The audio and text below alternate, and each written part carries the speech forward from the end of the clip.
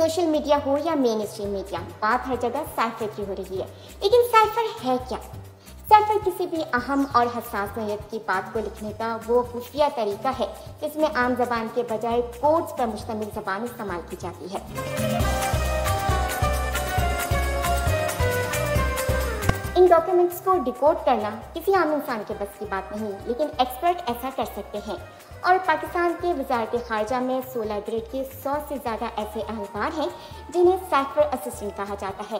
पाकिस्तान के बैरून मुल्क सफारत खानों में भी साइफर असिस्टेंट तैनात होते हैं। बैरून मुल्क मिशन से मौसू होने वाले साइफर दो तरह के होते हैं गैर गर्दिशी साइफर और दूसरे वो जो अमूमी तौर पर तकसीम कर दिए जाते हैं। गैर गर्दिशी सैफर मखसूस अफराद के लिए मार्क होते हैं और भेजने वाले मुल्क का सफ़ीर ये फैसला करता है कि उस सैफर को कौन मौसू करेगा।